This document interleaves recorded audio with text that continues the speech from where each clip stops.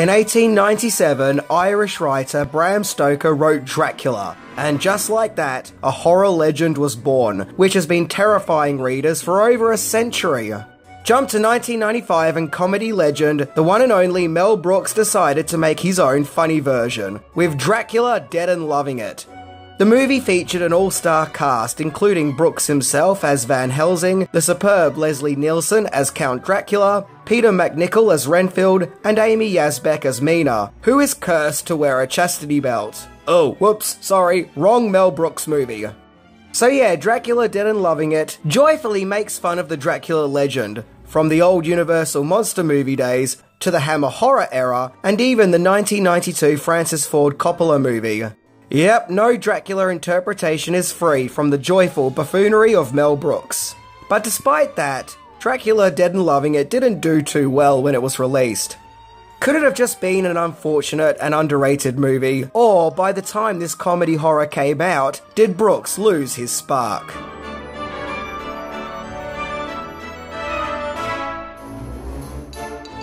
Well, today we are going to find out by looking into 10 things that you didn't know about Dracula Dead and Loving It. So let's explore the funny side of Bram Stoker's original tale and check it out.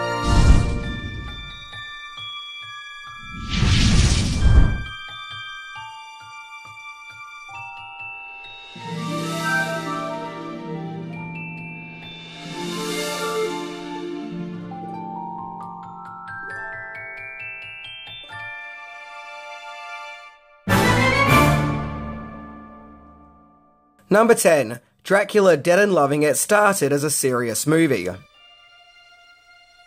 Yeah, believe it or not, but Dracula Dead and Loving It started as a serious movie. Well, sort of. The more accurate way to describe it is that it was the offspring of a serious movie. You feeling confused? Well, don't worry, I'll explain. You see, Dracula Dead and Loving It was written by Rudy DeLuca and Steve Haberman. DeLuca in particular had already had involvement with several movies, including Caveman and Transylvania 65000.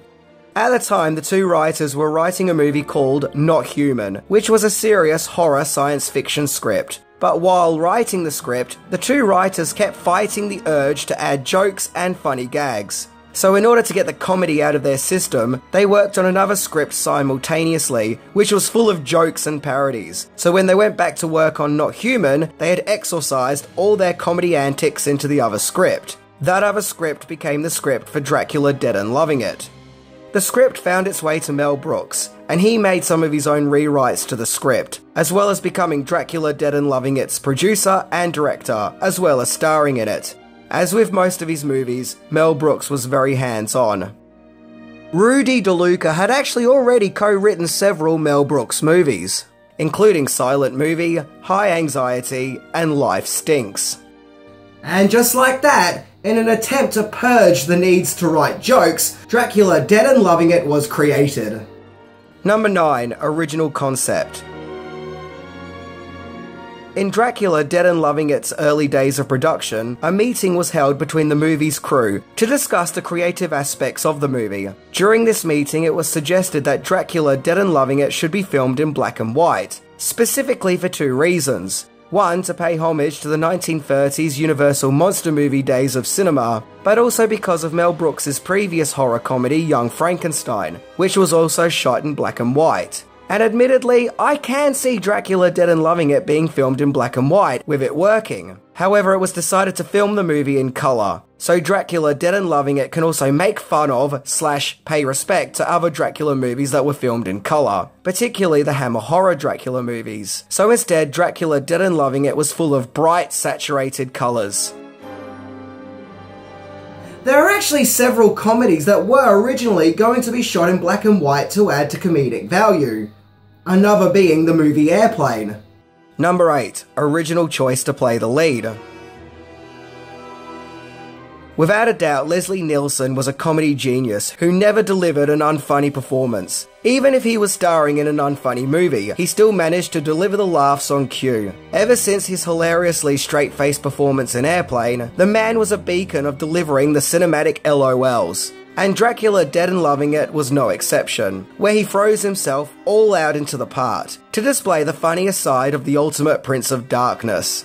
However, he wasn't the original choice to play Dracula in Dracula Dead and Loving It. That was in fact Kelsey Grammer, who was much younger than Nielsen and starred in the popular sitcom Frasier at the time. So it would have made sense to go with him thanks to his Frasier popularity.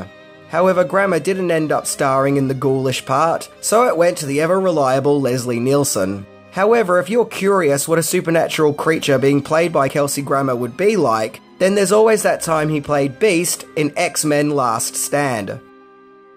Yeah, you know, that X Men movie that everyone loves. Alright, come on, guys, it was just a joke. Alright, calm down. I'm sorry, it was a joke. Okay, it was a bad joke.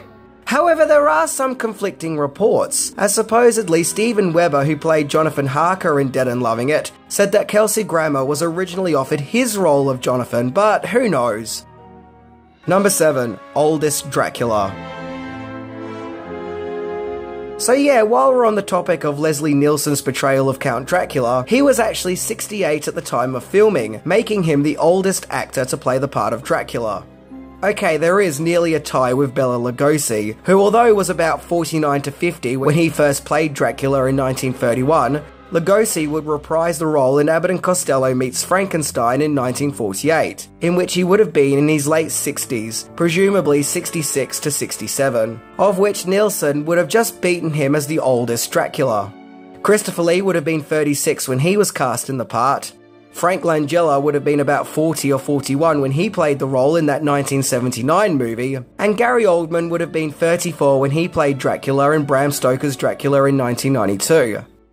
So yeah, Dracula Dead and Loving It may not have made waves when it was first released, and maybe it still doesn't now, but at least Leslie Nielsen broke the title of Eldest Dracula. Sadly, Nielsen passed away in 2010 at the age of 84, and the world lost a comedy legend. Dracula Dead and Loving It was actually his second horror movie spoof, after the Exorcist spoof, Repossessed, and after Dracula, he would continue to star in horror spoofs, including Scary Movie 3 and 4 and Stan Helsing. Number 6. Filming Dracula Dead and Loving It was filmed at Culver Studios in Culver City, California, with filming lasting about four months. Yep, just like Francis Ford Coppola's Bram Stoker's Dracula before it, Dead and Loving It was also creating old school horse and carriage Europe in modern day California with many sets being built to create the time period and atmosphere. Apparently, when it came to the characters of Dead and Loving It, the male characters were to be depicted as buffoons, complete and utter idiots, and the female characters were to be glamorous and sexy. British actress Lysette Anthony, who played Lucy, said, according to IMDb, was to just stand there and look sexy, with her cleavage on display. Okay, it wasn't exactly worded like that, but hey, I'm trying to keep things PG here. But she also added that she didn't mind it at all or take offense, but instead felt really lucky to be working with Mel Brooks, calling him one of the comic greats of our time. And let's be honest, she's right. Mel Brooks is a comedy genius. From most accounts I've read, filming Dracula Dead and Loving It was a positive and fun experience for all involved. Number 5. Mel Brooks would return to Dracula. Yep, believe it or not, but Mel Brooks would return to the legend of Dracula, and just like Dead and Loving It, he'd return to a more light-hearted side of the tale. Where in 2015, a whole 20 years after the release of Dracula Dead and Loving It, Mel Brooks would voice the part of Dracula's father, Vlad, in the computer animated movie Hotel Transylvania 2, where as mentioned, he played the father to Adam Sandler's Dracula character. Even though Mel Brooks isn't directing movies anymore, it's still nice to see him pop up and get involved in movies every now and then. Number 4. Who needs milk when you've got blood? So there were two movie posters used to promote Dracula Dead and Loving It. And both posters were pretty orange. No, seriously, don't look at me like that, it's true. They are pretty orange, right? First up, there's this one which shows Leslie Nielsen's Dracula loving afterlife and looking really happy, with other characters from the movie shown within his torso. And then there's this other poster that is a direct spoof of the Bram Stoker's Dracula poster, which came out a few years earlier. And I love this one. Look at Nielsen's face, that's classic. another advertising gimmick, was also used to make fun of the Got Milk campaign, which was a marketing strategy from the 90s to entice the public to drinking milk by using photos of celebrities with milk moustaches, suggesting that they have just drunk a glass of milk, while the ad would describe the health benefits of drinking milk. However, Dracula Dead and Loving It made its own comical version of the campaign called Got Blood, which comically featured the health benefits of drinking blood, along with a blood smear on Leslie Nielsen's upper lip, just like the milk smears on the Got Milk adverts. It's a funny satire of the campaign, as it kind of shows you that Dracula has entered the world of the 90s. Be that 90s marketing, only he's not drinking milk but going straight for the blood. Number 3. The trailer recycled music from another Dracula movie. So if you watch the early teaser trailer of Dracula Dead and Loving It, you may very well be greeted with familiar music, as the trailer used music from the 1979 Dracula movie, which was scored by the legendary John Williams himself. Which is pretty fascinating, as the 1979 Dracula movie is anything but a comedy. However, early movie trailers using scores from other movies wasn't an uncommon practice back then. It was something that happened when very early trailers were put together, but the music for the movies weren't ready, so scores from other movies would be used for the early trailers, to help set the mood and showcase what kind of movie to expect. That's why in the 80s there was lots of trailers for adventure movies that featured music from the never-ending story. And during the 90s, there were equally tons of movie trailers that featured the Beetlejuice score especially if they were supernatural comedies. Heck, even the teaser trailer for A Muppet's Christmas Carol used the Beetlejuice theme. One of my favourite cases of pre existing movie scores being used for a trailer is the teaser trailer for Hook, which used the theme for The Witches of Eastwick. Point is, there are tons of early movie trailers from the 80s and 90s that uses scores from other movies. In fact, I am surprised that the Dracula Dead and Loving It trailer didn't use the as mentioned Beetlejuice score. It would have seemed like the perfect fit. Speaking of music, the score for Dracula Dead and Loving It was composed by Hummie Mann, and his music in the movie doesn't at all sound like the kind of music you'll hear in a spoof movie, but it actually sounds quite serious, which I guess is part of the gag. It does, however, sound delightfully gothic. Mann also scored Robin Hood Men in Tights, but is probably best known for creating music for the TV show Moonlighting. Number 2. Dracula Dead and Loving It was meant to compete against another vampire movie.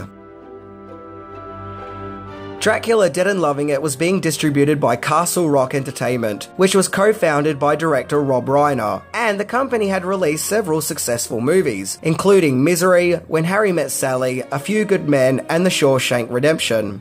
And their plan was to release Dracula Dead and Loving It during the Halloween season, so it could compete with fellow vampire comedy Vampire in Brooklyn, which starred Eddie Murphy and was directed by horror legend Wes Craven.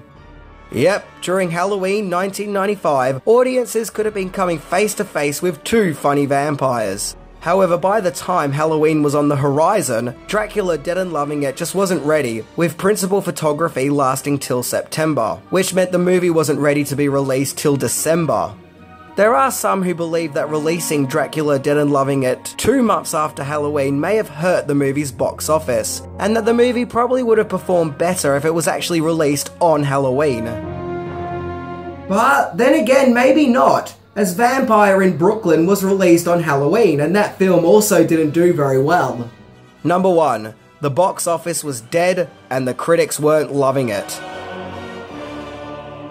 Dracula Dead and Loving It was released on December the 22nd, 1995. As mentioned, a weird movie to release over Christmas. It was also released just after the 21st anniversary of Brooks's previous horror comedy, Young Frankenstein, which came out all the way back in 1974. Sadly, Dead and Loving It was a box office disaster, only bringing in $10.7 million on a $30 million budget. Yeah, ouch. Which is really bad, especially when compared to Brooks's previous movie, Robin Hood Men in Tights, which made $70 million.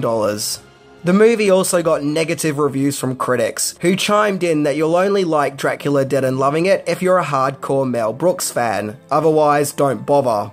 Many other critics felt that although Dead and Loving It can raise some giggles, it just isn't particularly funny, and it was often unfairly compared to Brooks's previous horror comedy Young Frankenstein and to Nielsen's previous efforts in Airplane and The Naked Gun. And it currently has a measly 11% on Rotten Tomatoes. What adds to the sadness of Dracula Dead and Loving It's failings is that this would be Mel Brooks's last film that he would direct.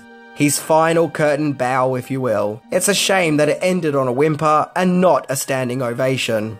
But maybe it's fitting, as when it came to breaking the rules and expectations, that was kind of his thing. So, where did it go wrong? Well, maybe it was just bad timing. Who knows, as mentioned, if it was released on Halloween, it may have done better, as people would have been in the right mood for it. And who knows, maybe if it was made closer to the release of Bram Stoker's Dracula, it also may have fared better, as it would have been topical and ripe for a spoof. But by the time Dead and Loving It came out, Bram Stoker's Dracula was three years old, and probably not on everyone's minds anymore. But I've noticed that over the years that Dead and Loving It has picked up a loyal fan base by fans who do enjoy it and find it funny. So it's not all bad. And I personally do enjoy the movie. There are parts that really do make me chuckle, and I think that it makes an excellent double bill with Men in Tights. Whether you like Dracula Dead and Loving It or not, one thing is for sure. It marked the end of a directing career for a brilliant filmmaker and a pioneer of the comedy and spoof genre.